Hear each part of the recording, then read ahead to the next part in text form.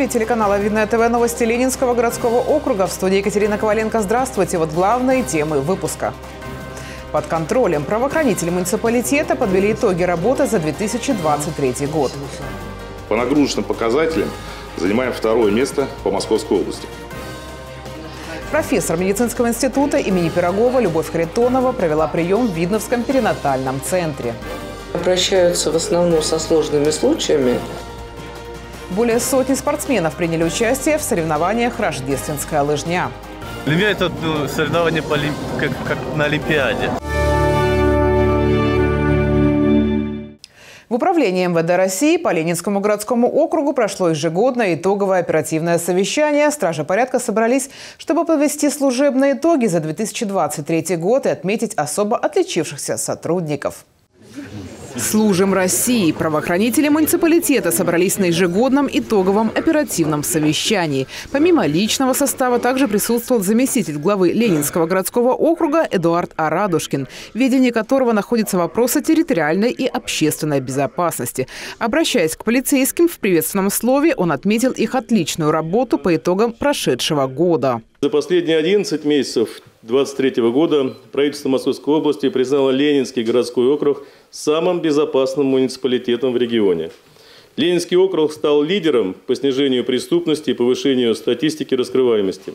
Началось совещание с награждения сотрудников УМВД, достигших высоких результатов в работе и за успешное выполнение задач повышенной сложности. Им вручили благодарственные письма и грамоты главы Ленинского городского округа. Также полицейским были вручены ведомственные награды. Служу России.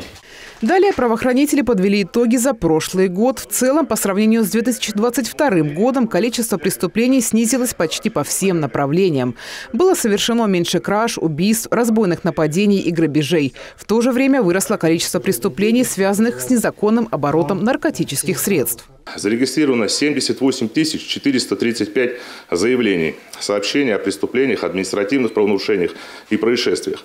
Поступило 11 896 обращений граждан. По нагрузочным показателям занимаем второе место по Московской области. Высокому проценту раскрываемости помогает и система «Безопасный регион», благодаря которой уже сейчас на территории муниципалитета более 6,5 тысяч камер.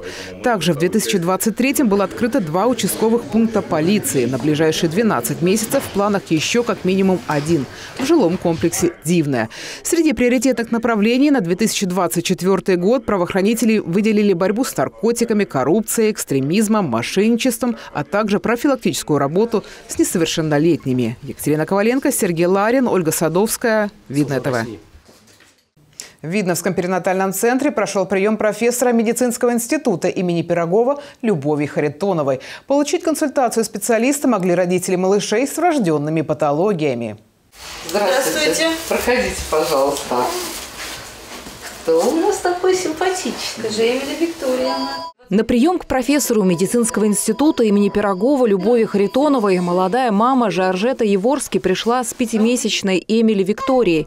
Девочка родилась на 25-й неделе беременности и весила всего 850 граммов. Благодаря наблюдению специалистов перинатального центра малышка растет и развивается в соответствии с возрастом. Все нормально у нас. Мы как бы, нас хорошо, у нас были сразу как бы хорошие врачи. Спасибо всем педагогическим перинатальным врачам. Все хорошо. Получить консультацию специалиста могли родители малышей, пациентов отделения Катамниза. Обращаются в основном со сложными случаями. Э, это, как правило, дети или маловесные, или недоношенные, или наоборот крупновесные дети, у которых возникают э, проблемы в первый год жизни. Проблемы в основном возникают с питанием, с набором веса, с дисфункциями кишечника. Врачи отделения наблюдают недоношенных детей и рожденных весом менее 1500 граммов в течение первых трех лет жизни. Особое внимание к здоровью таких малышей необходимо для дальнейшего развития ребенка и профилактики хронических заболеваний. В нашем отделении ведут прием а, врачи-педиатры, невролог, а, офтальмолог, а, врач-реабилитолог, физиотерапевт, кардиолог. Также на базе нашего отделения проводится полный спектр исследований, ультразвуковые исследования. Прием профессора Любови Харитоновой в Видновском перинатальном центре был организован впервые. В медучреждении такие консультации планируется проводить на регулярной основе. Наталья Буслаева, Александр Логинов, Ольга Садовская, Видное ТВ. В работе пожарного множество тонкостей. Нужно не только спасти жизнь человека, но и самому выйти нетронутым из огня. Большую роль играет экипировка. В пожарной части развилки школьникам удалось примерить роль спасателя на себя. Слово Ингенчук. Покажут все помещения, где что хранится, где что каждое должностное лицо чем занимается. Вот. Покажем машины пожарные вот, и пожарно-техническое вооружение, которое оно вывозит. Верными помощниками огнеборцев служат их рабочие инструменты. Один всегда под рукой на поясе, другие ждут применения в автоцистерне. Багор, лом, ножницы для резки электропроводов – одна малая часть ручных немеханизированных средств спасения. Если же в беду попал сам пожарный, ему следует активировать датчик неподвижного состояния и дождаться бригады. Если пожарный э, не имеет возможности двигаться, датчик через какое-то время начинает пищать. Боб или боевая одежда пожарного состоит из каски, куртки, перчаток, брюк и сапог. Ничего лишнего, а главное не превышает весе 5 килограмм. Школьники примерили на себя униформу спасателей и поделились впечатлениями. Первый раз надел каску? Да. Как ощущения? Крутые ощущения, мне очень нравится. И одежда не такая тяжелая, как я ожидал. Как будто бы на голове огромный такой ком. Елисей Попов пришел на экскурсию в пожарную часть впервые. Ему одним из первых посчастливилось побывать в машине спасателей. Там все продумано, и там так уютно сидеть просто. Остальные ребята также остались под большим впечатлением от автоцистерны. Как тебе пожарные машины, их внутреннее устройство?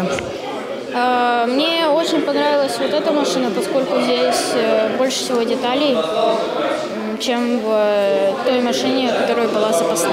Больше всего понравилось это то, что у каждого э, своего, свое место и внутри есть кислородные баллоны. Там на крыше фонарь стоял, можно было его двигать прямо изнутри. А, был, была как мини-диспетчерская, то есть нажал на кнопку и говоришь. Для пятого В-класса развилковской школы экскурсия в пожарную часть была проведена впервые. Их педагог отметила, что таким способом познавать новые профессии гораздо интереснее. Рассказывать о профессиях важно и нужно, но когда дети видят э, э, те профессии, о которых говорят, и могут потрогать, и увидеть, и заинтересоваться, это, конечно, замечательно. Такие экскурсии позволяют расширить горизонты знаний детей и открыть для них новые профессии, с которыми, возможно, они захотят связать свою жизнь. Инга Янчук, Сергей Ларин, Ольга Садовская, Видное ТВ. В историко-культурном центре провели мероприятие для первоклассников, на котором познакомили ребят с книгой Агнии Барто «Переводы с детского». Подробности нашего корреспондента Юлии Стаферовой. С удивительной страницей творчества поэтессы Агнии Барто познакомили воспитанников начальных классов Видновской школы номер 7. Мероприятие провела методист историко-культурного центра Наталья Замарина. Ребята узнали стихи из книги под названием «Переводы с детского». Это сборник стихов, которые были написаны детьми из разных стран мира. Агния Барто их лично собирала и переводила на русский язык. Мы сначала вспомним классику, то есть Мишку, Зайку, дети помнят их и наизусть читают. Вот. А потом мы будем страницу за страницей перелистывать э, вот этот сборник перевода с детского, и ребята могут прямо с экрана самостоятельно читать стихи. Ученики из седьмой школы уже пятый раз приходят для того, чтобы узнать много нового интересного для себя. Такие внеклассные уроки помогают им творчески развиваться. Они учатся читать, они учатся говорить развернуто, они э, э, учатся познавать русский язык, сказки русские народные. Ребята с интересом читали стихи не только с экрана, но и наизусть, а также с удовольствием обсуждали прочитанное. В присутствии любимой учительницы изучать литературу просто и легко. Мне все нравится, если Оксана Викторовна рядом. Она всегда помогает, двойки не ставит. Сотрудники историко-культурного центра будут и дальше проводить познавательные занятия для воспитанников общеобразовательных учреждений муниципалитета. Юлия Стаферова, Кирилл Иванов, Гульнара Балаева, Видное ТВ. В парке Опаренки прошли традиционные соревнования «Рождественская лыжня». Гонки проводились в восьми возрастных категориях. В них приняли участие как самые юные лыжники, так и ветераны спорта. С ними пообщался Максим Козлов. Так, ребята, бежите один километр. Я стою там, дядька свистит, побежите. Более 20 лет проводится в Видном рождественская лыжня. В этом году из-за заморозков соревнования пришлось перенести на неделю. И хотя и сейчас температура не самая комфортная, более 40 человек решились выйти на старт. Пришли энтузиасты такие, сами пришли. Можно было не приходить. Старшие их я позвал, старших, говорю. Ну и то, когда посмотрел, вот утром 23 градуса, я им сказал тоже, ребят, смотрите, у кого сопли, кашель, не надо.